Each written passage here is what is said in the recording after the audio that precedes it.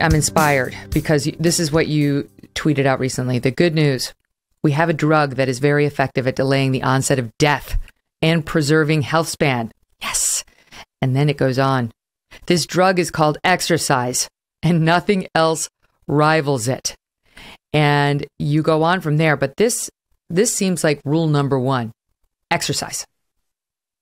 Yeah. Uh, I'm not convinced there's any intervention that can delay death as long as exercise. So when you're talking about the lifespan side of that ledger of longevity, um, I could think of some exceptions, right? If you took somebody that has familial hypercholesterolemia, which is a genetic condition that gives you cholesterol through the roof, that's probably someone for whom getting them on lipid lowering therapy in their 20s will have a bigger effect on the length of their life over the next 80 years but, you know, I'd have to start thinking of those types of examples to come up with a scenario under which there's an intervention that is more powerful than exercise to lengthen your life.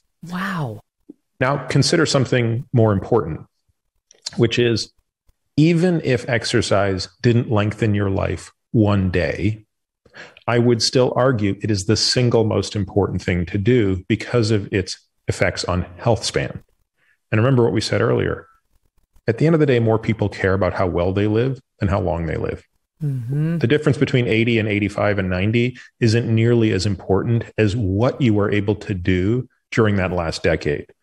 And the impact that exercise has on both your cognition and your physical body, obviously, is enormous. In fact, I don't think there's an intervention that has a greater impact on your brain than exercise. Again, there are extreme examples that can violate that. You're going to talk to Matt Walker, and he'll explain to you that if someone has really, really horrible sleep, mm-hmm. it's going to mm-hmm. compromise their cognition. And absolutely that's true. And it's going to increase their risk of dementia.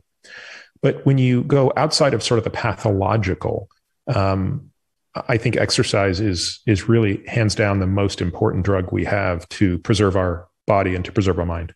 Wow. Okay, so the next question on everyone's mind is what kind? You know, do I do the the pounding HIIT class where I you know have to do tons of intensive cardio, or do I go to the gym and lift weights, or do I do Pilates? You know, what kind? So again, if you're sort of arguing this from the standpoint that I would argue it, which is through total longevity, which means how do you extend life and how do you enjoy life better? It's going to be a bit of all of the above in the sense of it's really about strength, stability, aerobic efficiency and anaerobic power. Those are really the four components that we break exercise down into. And each of those must be trained for with a very deliberate sense of uh, what you're doing. You know, I think that the biggest challenge with exercise is that most people are kind of rudderless. You know, They're, they sort of you sort of know it's important. You're, you you you kind of know I should be doing this thing, but there's very little specificity around what they're doing. And I believe that if you're going to really train to be kind of a kick ass person in the last decade of their life, you need to train with the specificity of an athlete. Now, it doesn't mean you're going to be training like you're a football player, but if you think that Tom Brady isn't very specific in what he does to prepare for what he did for the last, you know, 22 years, um, uh, that's crazy, right? If, if mm-hmm. you know mm-hmm. any, you pick any athlete at the top of their game, nothing they're doing is not deliberate.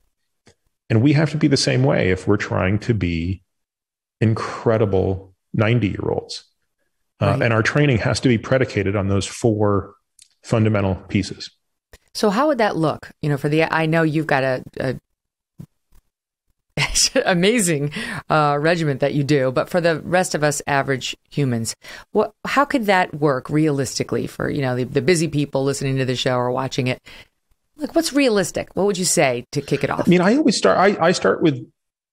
The, I put the question to to a patient the other way. I would say, what do you want to be able to do in the marginal decade of your life? I, I call the marginal decade of your life the last decade of your life. So, we're all going to die. Therefore, we will all have a last decade of life. Um, you don't know when you enter the marginal decade, but you know when you're there, right? Most people kind of know when they're in that last decade of your life, but it's not entirely clear the minute you enter it. But nevertheless, we can get a sense of who we're going to be in that last decade. And I ask people to tell me what they want to be able to do. I have to do it in great specificity, right? So I, I don't want to hear, oh, I just want to be able to, you know, move around pain free and play with my grandkids. It's like, no, no, no. It's got to be much more granular than that. Like, I want to know exactly how you want to play with your grandkids. Mm. I want to know exactly where you want to be hiking. I want to know exactly how many steps you want to be able to walk up, exactly how many pounds you want to be able to carry, you know, that kind of stuff. Once you have that roadmap, and, and we use this model, we call this the centenarian decathlon, right? So, you know, what do you want to be able to do? What are the 10 things that you want to be able to do physically at the end of your life in that last decade? You then work backwards from there and you say, well, first of all, doing those things implies that you can do this. So, for example, to be able to climb so many stairs with you know X pounds of groceries implies you have a VO2 max of this. And if you have VO2 max of that when you're 85, how high does it need to be when you're 75 and when you're 65 and when you're 55 and when you're 45? Because all of the things that you want to be able to do, you're getting to get worse at as you get there, obviously. So you have to be able to start from a high enough position where you are currently so that by the time the glider gets down to that last decade, you're able to still meet your objectives. So there's no question you're going to be deteriorating. You just want to make sure that you get your base up high enough that the deterioration still lands you in a good place. Exactly. And I want people to go through that process, which is called backcasting.